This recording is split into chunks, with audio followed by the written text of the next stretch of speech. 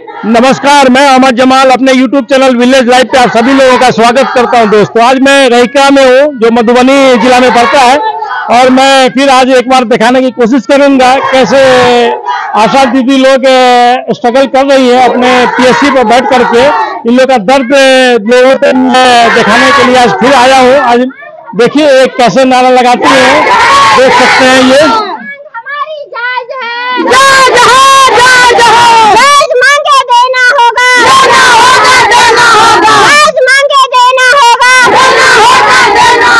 Bye.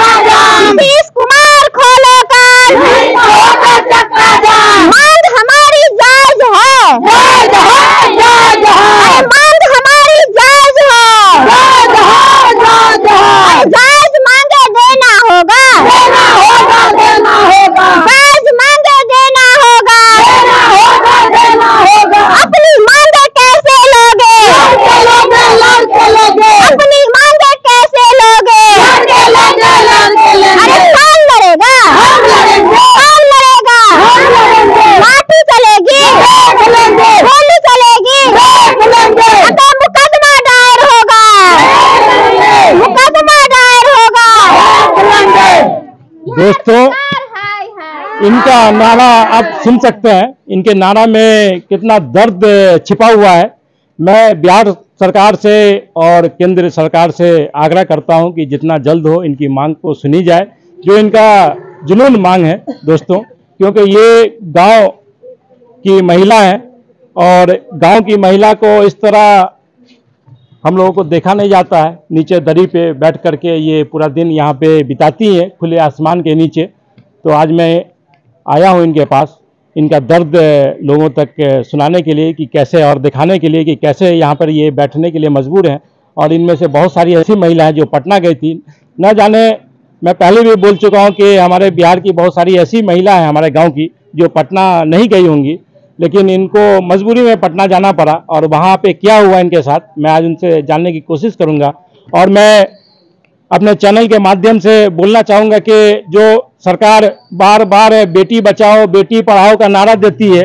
आज आप खुद देख सकते हैं, बेटी और बहू हमारी किस तरह मजबूर है अपना हक मांगने के लिए और ये महिला कितनी शक्तिशाली हो चुकी हैं। तो आज मैं बात करूँगा। हम में से कोई कोई है जो हमसे बात कर सके? पटना गई थी आप, दीदी?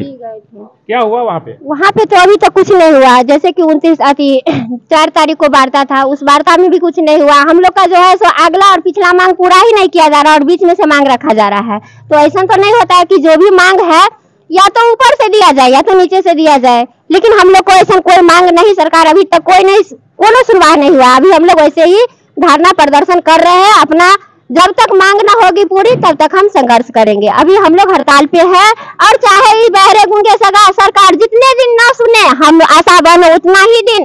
चाहे आधी रोटी खाएँगे, लेकिन धारणा पर ही बैठेंगे। सरकार के काम नहीं करेंगे और न भी जो आशा से जुड़ी हुई काम है, सो सरकार का होने देंगे। इसके लिए हम लोग को मर जाए, मिट जाए, जो करना पड़े, हम लोग करने के लिए तैयार है। सुन सकते हैं दोस्तों, ये कैसे अपनी बात रख रही हैं और मैं बोल दूँ कि ये भारतीय नारी है। जब ये अपने आप पे आ जाएँ तो यही दुर्गा बन जाएँगी और इतनी शक्तिशाली हो जाएँगी कि रजिया सुल्तान और लक्ष्मी भाई और सब कुछ ये बनने के लिए तैयार हैं। तो ये सरकार से कैसे अपनी मांग मंगवाने की कोशिश कर रही हैं? अच्छा ये बताइए आपके पास कोई मिलने के लिए आया? अभी तक तो कोई नहीं मिलने के लिए अभी तो अभी तक तो हम लोग का धमकी भरी लेटर मिल रहा है चाहे वो बिहार सरकार हो या पीएससी का हो या केंद्र सरकार को। अभी तक तो लेटर मिल रहा है कि आशा धरना तोड़े नहीं तो आशा पर एफआईआर होगा। आशा काम करे नहीं तो आशा को माने चैन मुक्त किया जाएगा। अभी तक तो फिर सिर्फ़ धमकी मिल रहा है। कोई माने अति नहीं सिर्फ़ धमकी। तो क्या ये धमकी से आप लोग डर जाएँगे? डरने वाले नहीं है न डरेंगे। अटके रहे हैं अटके रहेंगे। बोल दिए एक बार कि आधी रोटी खाएगी मेरी आशा बहन। सरकार का कोई काम न करेगी और न भी जो आशा का साथ जुड़े काम है अगर सोच रहे हैं बिहार सरकार या केंद्र सरकार या हमारे जिला के जिला पदाधिकारी कि हम टीकाकरण करवा लेंगे तो ये उनका भूल है। टीकाकरण हरगिज नहीं होगा कोई उपाय में टीकाकरण नहीं होगा और न हमारी आशा बहने होने देगी। इसके लिए हमको जो करना पड़े। हम लोग करने के लिए तैयार गए हैं। हम लोग उतर गए हैं अब मैदान में। या तो आर पार की लड़ाई है सरकार से इस बार। या तो सरकार हमारी मांग मांगे, न तो सरकार से जो भी हमारी स्वास्थ्य विभाग में हमारी आशा बहने काम करती है, एक भी काम होने नहीं देगी। सारा काम बाधा बाधित करेगी। इसके लिए तेजस्वी यादव मुख्यमंत्री और प्रधानमंत्री को नब्बे हज़ार हमारी आशा बहने को अगर चैन मुक्त करना है तो कर दे। हम लोग होने के लिए तैयार है। क्या मिलता है बारह सौ में सिलेंडर मिलता है एक हज़ार में हमारी आशा बहने काम करती है क्या काम करेगी कैसे उसका दिन आगे बढ़ेगा कैसे उसका बाल बच्चा पलेगा ये भी सोचा जाए ना सरकार को जो बारह सौ में सिलेंडर मिलता है महीना नहीं लगता है और आशा को कितना दिया जाता है एक हज़ार रुपया हमको काम हमको प्रोत्साहन राशि नहीं चाहिए। हमको मानदे चाहिए। चाहे तुम पाँच रुपया दो दस रुपया दो लेकिन मानदे दो। जो सरकार के नियम मजदूरी भत्ता तय है उस अनुसार से हमको मानदे दो। हमको हमको कमीशन पे काम नहीं करना है। सुन सकते हैं दोस्तों ये कितने अच्छी तरह से अपनी बात रख रही है। और मैं एक बात और बता दूँ कि महिला सशक्तिकरण का इस अच्छी मिसाल आपको नहीं मिलेगी। क्योंकि ये गाँव की बिल्कुल, गाँव की हमारे बिहार के, मिथिलांचल के गाँव की ये महिला लोग हैं। सुन सकते हैं इनकी आवाज़ में कितना दर्द है और ये अपना हक मांगने के लिए किस तरह जाने के लिए तैयार हैं। हर हद पार करने के लिए, किसी भी सरकार से टकराने के लिए ये लोग तैयार हैं। तो ये बताइए, आपको हॉस्पिटल वगैरह से धमकी मिलती है? बहुत धमकी मिलती है। बोला जाता है, यहाँ नहीं बैठो, वहाँ नहीं बैठो, यहाँ नहीं बाने टांगो, वहाँ नहीं बाने टांगो, ये काम नहीं होने देगी तो एफ़ हो जाएगा आशा पे, ये काम नहीं होगा तो एफ़ हो जाएगा आशा पे। तो आशा को धमकियाँ भरी है, जब जिस दिन आशा काम करती थी, या बारह बजे दिन हो, या बारह बजे रात हो, आशा के लिए कोई टाइम फिक्स नहीं है। वो बारह बजे दिन में भी काम करती है, बारह बजे रात में भी काम करती है। अगर यहाँ से प्रसव करा के, अगर सुबह हमारी आशा बहन गई और अगर के, कोई भी स्वास्थ्य केंद्र या आंगनबाड़ी केंद्र पे गया यहाँ का स्टाफ और बोला कि नहीं आज आशा को भी यहाँ भेजना है नहीं तो उस आशा और फैसिलेटर का चयन मुक्त हो जाएगा। उसका पैसा काट दिया जाएगा। नहीं तो आशा यहाँ प्रेजेंट हो। यहाँ चाहे जो भी काम हो आशा वहाँ करेगी और हमारी आशा बहने डर के मारे। चाहे पीएससी से यहाँ रात में जाए और सुबह फिर जाके चाहे आरआई का काम हो या एएमसी जाँच हो या सरकार का प्रॉपर्टी का प्रोग्राम हो, जो भी काम हो अंतरा का प्रोग्राम हो, जाके करवाती थी। लेकिन अब हमारी आशा बहने जाग गई है, क्योंकि सत्रह साल हो गया और ये सत्रह साल से नीतीश कुमार का रवैया हम लोग देख के थक चुके हैं क्योंकि हम लोग को काम भी नहीं लिया जाए ना अगर हम लोग के लिए वेतन नहीं है तो काम नहीं होना चाहिए सो तो काम हम लोग के ढेर सारा हो कोरोना का टाइम आया सारे स्टाफ कोरोना पॉजिटिव करके क्वारंटाइन हो गए लेकिन हम आशा हमारी आशा बहने हम आशा फैसिलिटेटर को धमकी मिलता था पीएससी के कि तुम जैसे आगे अगर गाड़ी घोड़ा बंद है तो तुम्हारा समस्या हम सुनने के लिए तैयार नहीं है तुम जैसे आओगी लेकिन पीएससी तुमको आना है गाँव गाँव हमारी आशा बहने सर्वे की गाँव गाँव माने जाँच करवाई गाँव गाँव माने जिस टाइम में एक बच्चा नहीं निकलता था बाहर से अरे यहाँ से यहाँ अगर पॉजिटिव निकला तो तीन किलोमीटर उसको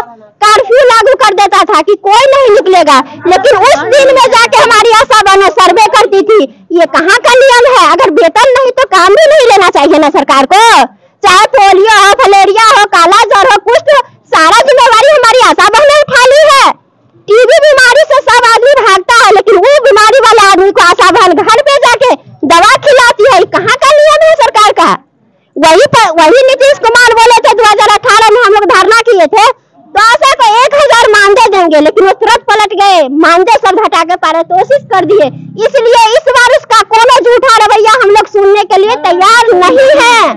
दोस्तों, ये महिला को आप लोग सुन सकते हैं। इनमें तो झांसी की रानी की झलक भी दिख रही है। अपनी बात कितने अच्छे से सरकार से रख रही है ये। और मैं एक बात और बता दूँ कि ये अपना धरना प्रदर्शन बहुत शांतिपूर्ण तरीके से चला रही हैं। किसी तरह का अभद्र नहीं, यहाँ पे किसी तरह की बदतमीजी नहीं डॉक्टर के साथ। मैं आप लोगों से फिर एक बार आग्रह करूँगा कि डॉक्टर के साथ या किसी कर्मचारी के साथ आप लोग किसी तरह का दुर्व्यवहार नहीं करें, ताकि आप लोग की बदनामी हो और आप लोग का धरना प्रदर्शन किसी दूसरे दिशा पे, गलत दिशा पे चला जाए और आप लोग कमज़ोर हो जाए। ऐसा काम आप लोग नहीं करें। सरकार से आप लोग की मांग, सरकार से आप लोग कैसे लड़ेंगी, ये आप लोगों के आपस में बैठ करके बात क्या करें। क्योंकि गलत काम करेंगे तो फिर आपका धरना गलत दिशा पे चला जाएगा और आप लोग कमज़ोर हो जाएँगी। तो मैं आप लोगों को कहना चाहता हूँ। धमकी भी मिलता है तो हम लोग बर्दाश्त करके सुन लेते हैं। यहाँ से उस दिन बोला गया कि साइड हो जाओ तो हम लोग साइड में बैठ के अपना धरना किए। यहाँ से अगर कोई आदमी आएगा बोलेगा कि रास्ता छोड़ दो तो हम लोग पेड़ के नीचे चल जाते हैं बैठने के लिए। किसी से हम लोग को कोई यहाँ का स्टाफ से हमको कोई नहीं है। वो लोग जो बोलते हैं हम लोग मान लेते हैं। क्योंकि उन लोग का भी सास सा- सरकार है ना, उन लोग अभी शासन कर रहे हैं तो हम लोग शासन अभी सह रहे हैं। हम बोल रहे हैं आशा बहनों को कि आशा बहनों, जो कर रहे हैं स्टाफ या पदाधिकारी करे, करने दीजिए। अभी हमें सहने की क्षमता है। जिस दिन ये नारी उग्र रूप धर लेगी ना तो ये पीएससी तो क्या सारा मन जिला को जला के रख देगी, अगर इसका मांग नहीं पूरा हुआ तो। नहीं नहीं, जलाने का काम आप लोग नहीं करें। और मैं एक बात और आपसे आग्रह करता हूँ कि किसी भी मरीज़ के साथ आप लोग सही बर्ताव रखें, आसानी से उसको आने जाने का रास्ता दें और किसी को किसी तरह का, चाहे मरीज़ के साथ कोई भी हो, उसको बदतमीजी नहीं करें आप लोग। अपनी बात बहुत अच्छे से रख रही हैं।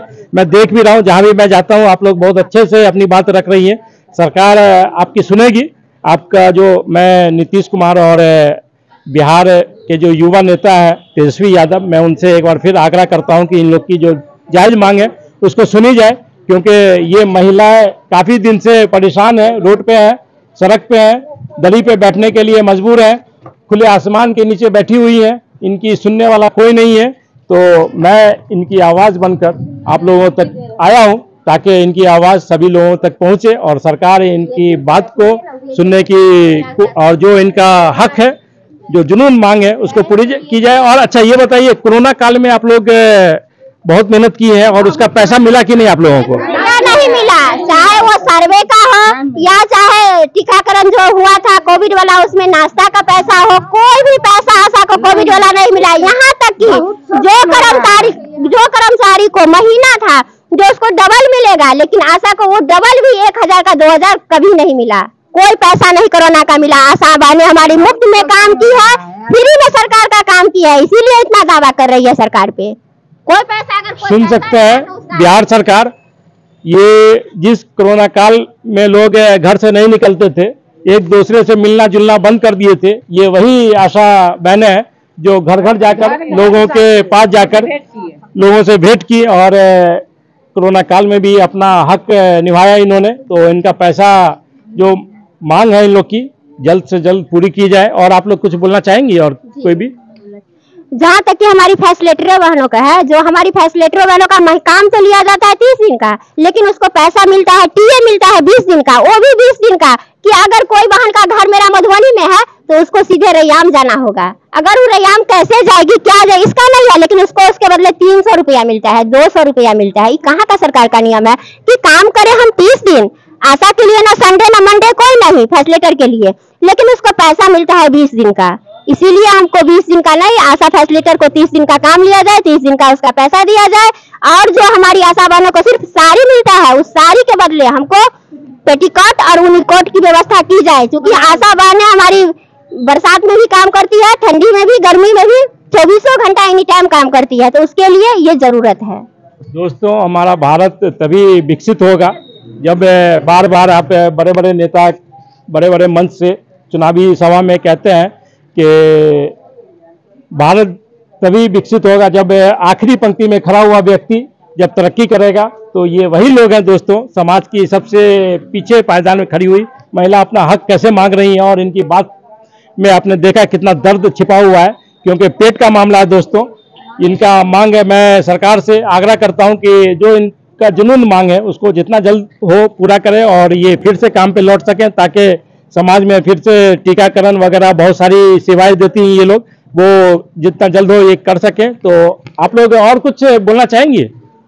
मेरे चैनल के माध्यम से आप लोग अपनी बात रखना चाहेंगे तो अच्छा ये बताइए कब तक चलता रहेगा आप लोग का ये धरना? अनिश्चितकालीन हड़ताल है सर। जब तक मांग ना होगी पूरी तब तक हम संघर्ष करेंगे। अच्छा और कहीं जाने का प्रोग्राम है आप लोग का? पटना वगैरह फिर जा- हाँ दस तारीख को पटना जाने का फिर प्रोग्राम है हम लोग दस तारीख को पटना जाएँगे फिर। ये दस अगस्त। उस बहाने हमारी यहाँ रहेगी और कल थाली बजाने वाला भी प्रोग्राम होगा। हम लोग अपना घर से थाली करछुल लेके आएँगे यहाँ बैठ के ताली बजाएँगे। क्या कोरोना भगवाना है क्या? हाँ ग्यारह बजे से साढ़े ग्यारह बजे तक हम लोग को सभी भगाना है। तो सुन सकते हैं ये मोदी जी ने पूरे देश से थाली पिटवाया था कि कोरोना भाग जाए तो ये लोग फिर वही फॉर्मूला अपना रही है थाली पिटेंगी। यहाँ करके तो उसमें क्या क्या करेंगे आप लोग? हम लोग ग्यारह से साढ़े ग्यारह के बीच में अपने घर से थाली कलछुल बेलन जो लेके आएँगे यहाँ बजाएँगे आधा घंटा तक। सुन सकते हैं दोस्तों ये कैसे अपनी बात रख रही है कितने अच्छे तरीके से रख रही है। मैं मैं सरकार जो है गुंगा सरकार नहीं सुन रहा है उसको थाली बजा करके आवाज़ देंगे तो वो कान खोल के सुनेगा।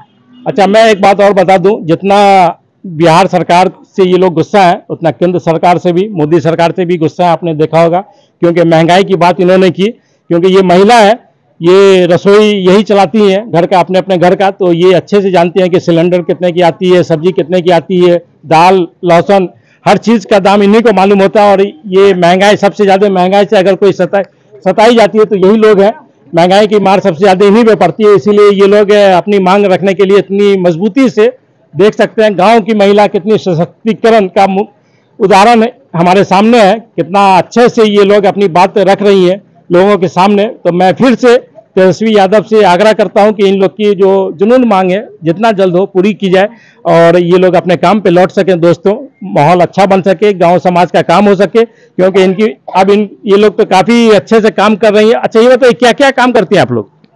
हम लोग हर प्रोग्राम में तो ऐसे हमारी काम करती है। पोलियो में जहाँ तक है कि हम लेबर अगर रखते हैं तो उसको हम पाँच सौ रुपया खाना, नाश्ता, दो बार चाय देते हैं। लेकिन हमारी आशा बहनें सुबह सात बजे डिपो पे जाती है, वहाँ से डब्बा वैक्सीन के लिए उठाती है, फ़ील्ड में जाती है। वहाँ घर घर जो उसका बटा हुआ रहता है, अस्सी घर, नब्बे घर, सौ घर, एक सौ बीस घर तक, यहाँ तक है कि एक सौ बीस घर तक। हमारी आशा बहने सर्वे घर घर जाके पोलियो का ड्रॉप पिलाती है। लेकिन उसके बदले कितना मिलता है? पचहत्तर रुपया। आप ही बोलिए, भाई, पचहत्तर रुपया में क्या होता है? मेरे घर में जो काम करने के लिए आती है, उसको हम देते हैं दाल, भात, सब्ज़ी, ऊपर से पापड़ दिना तिलौरी छान के, और उसको जाने वक्त में पाँच सौ रुपया। लेकिन ये सरकार हमसे पोलियो आज करावे, छह महीना बाद पैसा दे, वो भी पचहत्तर रुपया। पचहत्तर रुपया से क्या होने वाला है? सकते हैं, दोस्तों, इनको बिल्कुल पैसा नहीं मिलता है। ये लोग कैसे अपना दर्द लोगों तक पहुँचाने की कोशिश कर रही हैं? ये तो बहुत सारे लोगों को पता भी नहीं होगा कि आप लोग को कितना मिलता है। ये काफ़ी दिनों से सुन सकते हैं। तो क्या गाँव समाज के लोग आपका सपोर्ट करते हैं? हाँ सपोर्ट तो हमारे भाई लोग जो करने वाले हैं वो करते हैं सपोर्ट।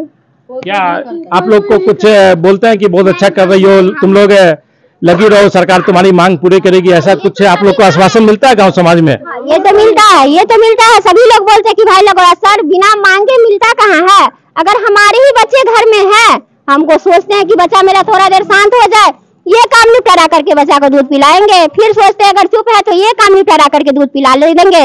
इसी तरह हमारे सरकार इसी तरह बहरे गूँगे हुए हैं, लेकिन अब सरकार की रवैया हम लोग सत्रह साल खेप चुके 2005 से लेके अभी 2023 में। अगर नहीं हुआ इस बार तो 2024 में नीतीश कुमार को गद्दी छोड़ना होगा और हमारी नब्बे हज़ार आशा बहने हटा के रहेगी। नब्बे हज़ार में नब्बे हज़ार हमारे नब्बे हज़ार में नब्बे हज़ार उसके बेटा हुए दोस्तों, ये कैसे अपनी बात रख रही हैं? ये इनके आवाज़ में कितना दर्द है। तो मैं सरकार से फिर निवेदन करता हूँ कि इन लोग की जायज़ मांग को पूरी की जाए।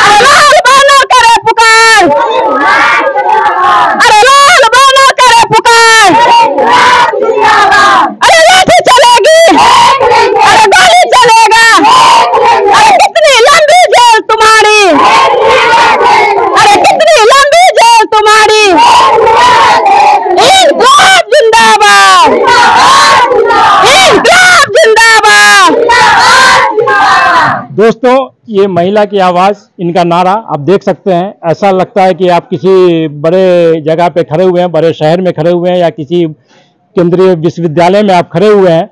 वहाँ पे ऐसा नारा लगता है, ये क्रांतिकारी महिला, ये गाँव की, हमारे गाँव समाज की महिला है। ये बिहार के, मिथिलांचल के छोटे छोटे गाँव से ये लोग निकल करके इनका नारा आप सुन सकते हैं, क्योंकि पेट का मामला है। पेट में जब आदमी भूखा रहता है तो ऐसे ही दिल से ये ये लोग जितनी हमसे बात की है, ये दिल से इनका निकला हुआ एक एक अल्फाज आप सुन सकते हैं। ये दिल से निकला हुआ है तो मैं फिर से बिहार सरकार और केंद्र सरकार से निवेदन करता हूँ कि इन लोग की जो जायज़ मांग है, उसको पूरी की जाए, दोस्तों। ठीक है दोस्तों, फिर मैं मिलता हूँ किसी नेक्स्ट जगह पे।